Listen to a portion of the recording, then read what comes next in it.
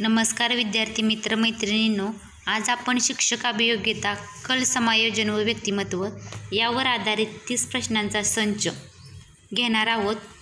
तर आज आपण पहिल्यांदा शिक्षक अभियोग्यता म्हणजे काय हे समजावून घेऊया. वेगवेगळ्या व्यक्तीचे निरीक्षण केले तर आपल्याला असे लक्षात येते की प्रत्येक व्यक्तीच्या क्षमता आवड गुण कार्य करण्याची पद्धत हे परस्परांहून वेगवेगळे असल्याचे किंवा भिन्न असल्याचे दिसून येते. उदाहरणार्थ बघा एखाद्याला चांगले शि अध्यापन करता येते तर दुसऱ्याला ते जमत नाही. किंवा एखादा चांगला गाणारा असतो तर दुसऱ्याला गळ्यातून चांगले सूर काढणे जमत नाही. यांत्रिक कार्याच्या बाबतीतही व्यक्तीच्या मूलभूत क्षमता वेगवेगळ्या असतात.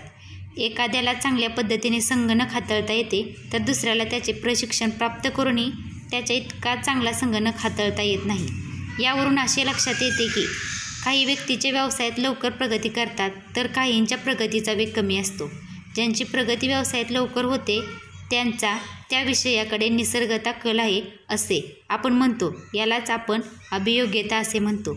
या अभियोग्यता चाचणीमध्ये शिक्षकांची तर शिक्षक अभियोग्यता यामध्ये आपण शिक्षक म्हणून आपल्यामध्ये असणारे आपण आत्मसात केलेली कौशल्ये किंवा आप शिक्षकाचे व्यक्तिमत्व त्यांची शिक्षण क्षेत्रात असलेली आवड या सर्व गोष्टींची क्षमता पाहिली जाणार आहे. चला तर मग जास्त तुमचा अमूल्य वेळ न घालवता आपण आपल्या क्वे प्रश्नांना सुरुवात करूया. क्वेश्चन एक आहे शिक्षण म्हणजे मनुष्यात अगोदरपासूनच असणाऱ्या पूर्णतेचा आविष्कार आहे असे डॅश डॅश यांनी म्हणले आहे. एक महात्मा गांधी दोन रवींद्रनाथ टागोर तीन स्वामी विवेकानंद चार योगी अरविंद. करेक्ट आन्सर आहे तीन स्वामी विवेकानंद. क्वेश्चन क्रमांक दोन खालीलपैकी अध्यापनाचा कोणता पूर्वनिर्धारित स्तर नाही? एक स्मरण दोन आकलन तीन परावर्तनीय चार विभेदीकरण. करेक्ट आन्सर आहे एक स्मरण. तीन अध्यापन करताना विद्यार्थ्यांचा अधिकाधिक सहभाग खालीलपैकी कोणत्या पद्धतीद्वारे शक्य आहे? एक व्याख्यान दोन स्पष्टीकरण तीन उद्गामी चार पाठ्यपुस्तक पद्धती. करेक्ट आन्सर आहे तीन उद्गामी पद्धती. चौथा क्वेश्चन आहे नैदानिक मूल्यमापनाचा उद मुख्य उद्देश खालीलपैकी कोणता आहे? एक सूचनापूर्वींचे विद्यार्थ्यांचे कार्य संपादन. दोन सूचना दरम्यान अध्ययनातील प्रगती व अपयश. तीन सूचनानंतरची अध्ययनाची स्थिती. चार सूचनांदरम्यान अध्ययनात सतत येणाऱ्या अडचणींमागील कारणे व निदान. करेक्ट आन्सर आहे चार सूचनादरम्यान अध्ययनात सतत येणाऱ्या अडचणींमागील कारणे व निदान. नेक्स्ट क्वेश्चन आहे पाचवा शिक्षक माहिती देणाऱ्या साधनांचा वापर करतो. कारण वर्गात चांगले वातावरण निर्माण करण्यासाठी दोन विद्यार्थ्यांचे वर्गात लक्ष टिकून राहण्यासाठी तीन संकल्पनांमध्ये स्पष्टता येण्यासाठी चार वर्गातील शिस्त टिकवण्यासाठी. करेक्ट आन्सर आहे तीन संकल्पनांमध्ये स्पष्टता येण्यासाठी साठी नेक्स्ट क्वेश्चन आहे सहावा शिक्षकाच्या अभिवृत्तीचा त्याच्या अध्यापनावर प्रभाव पडत असतो. अभिवृत्तीचा कोणत्या क्षेत्राशी संबंध आहे? एक भावात्मक क्षेत्र दोन ज्ञानात्मक क्षेत्र तीन संपर्क चार मानसशास्त्रीय क्षेत्र. करेक्ट आन्सर आहे एक भावात्मक क्षेत्र.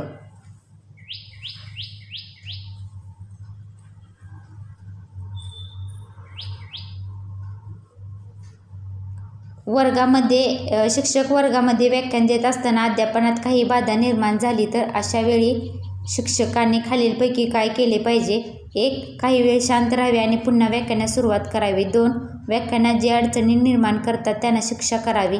तीन जे अडचणी निर्माण करत आहे त्यांना अध्ययनासाठी प्रेरित करावे. चार वर्गात जे काही अध्ययन घडत असेल त्यासंबंधी काळजी करू नये. करेक्ट आन्सर आहे तीन.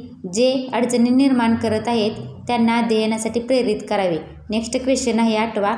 परिणामकारक शिक्षण खालीलपैकी कशाशी संबंधित असते? एक शिक्षकाचे समाधान दोन शिक्षकाचा प्रामाणिकपणा व बांधिलकी तीन शिक्षकाने विद्यार्थ्यांना शिकवणे व समजावून देणे चार व्यावसायिक श्रेष्ठत्वाप्रती शिक्षकाची अभिरुची. करेक्ट आन्सर आहे तीन शिक्षकाने विद्यार्थ्यांना शिकवणे व समजावून देणे.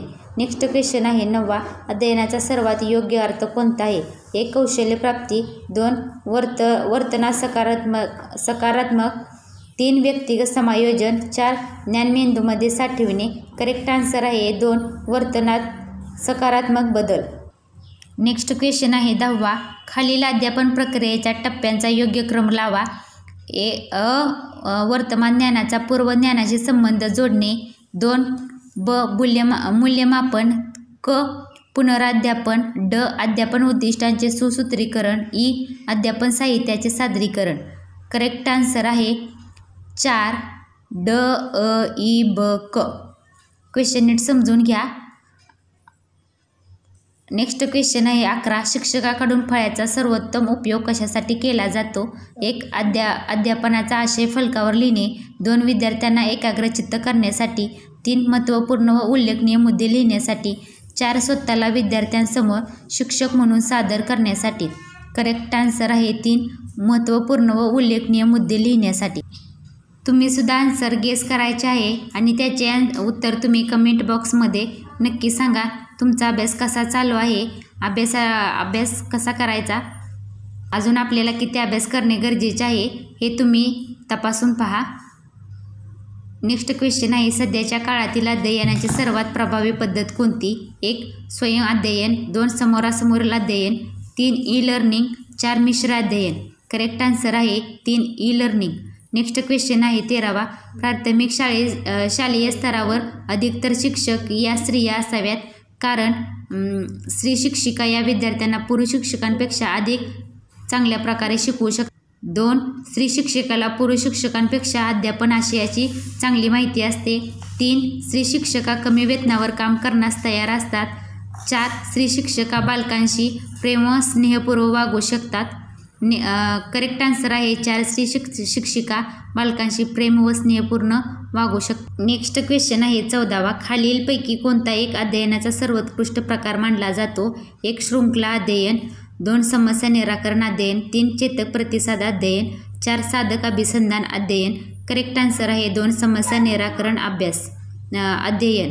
नेक्स्ट क्वेश्चन आहे. पंधरा. एखादी व्यक्ती अध्यापनाला व्यवसायाच्या रूपात स्वीकारून आनंदित होते तेव्हा एक तिचे वर्गातील आद- विद्यार्थ्यांवर नियंत्रण राहते. दोन ती विद्यार्थ्याकडून आदर प्राप्त करते. तीन आपल्या सहकाऱ्यांपेक्षा तिच्याकडे अधिक पात्रता असते. चार उच्च अधिकाऱ्यांच्या ती अधिक जवळ असते. करेक्ट आन्सर आहे. दोन ती विद्यार्थ्यांकडून आदर प्राप्त करते. विद्यार्थी मित्रांनो हे सर्व प्रश्न आपल्याला गेस करायचे आहेत.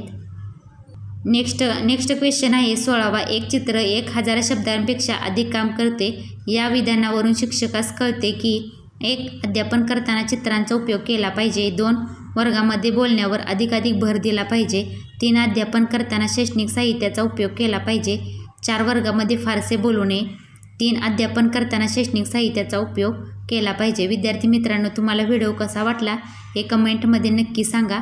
तुमची एक कमेंट आम्हाला दुसरा व्हिडिओ बनवण्यासाठी प्रेरणादायी ठरू शकते. नेक्स्ट क्वेश्चन आहे सतरावा. प्रभावी आणि दीर्घकाळ टिकणारे शिक्षण घेण्यासाठी अध्ययनकर्त्याकडे काय असले पाहिजे?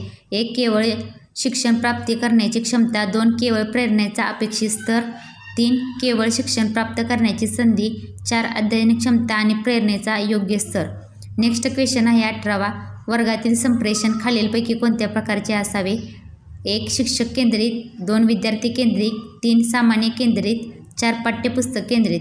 करेक्ट आन्सर आहे. दोन विद्यार्थी केंद्र नेक्स्ट क्वेश्चन आहे. अध्यापनाची सर्वोत्तम पद्धती कोणती? एक माहिती प्रदान करणे. दोन विद्यार्थ्यांना पुस्तक वाचण्यास सांगणे. तीन विद्यार्थ्यांना चांगली स संदर्भ सामग्री सुचवणे. चार वर्गात चर्चा घडवून आणणे व त्यात सहभागी होणे. करेक्ट आन्सर आहे. चार वर्गात चर्चा घडवून आणणे व त्यात सहभागी होणे. नेक्स्ट क्वेश्चन आहे विसावा. वर्गातील परस्पर संवादातून काय साध्य झाले पाहिजे? एक वेगवेगळे युक्तिवाद ऐकवायला मिळायला पाहिजेत. दोन विविध स्वरूपाची माहिती प्राप्त करावायला पाहिजे. तीन वेगवेगळे विचार व संकल्पना यांचे ज्ञान व्हावयास पाहिजे. चार वा वादविवाद घडून या यायला हवा. करेक्ट आन्सर आहे वेगवेगळे विचार व संकल्पना यांचे ज्ञान व्हायला हवे.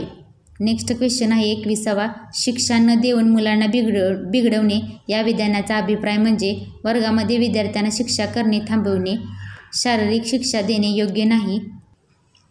तीन अयोग्य वर्तनासाठी शिक्षा दिली पाहिजे.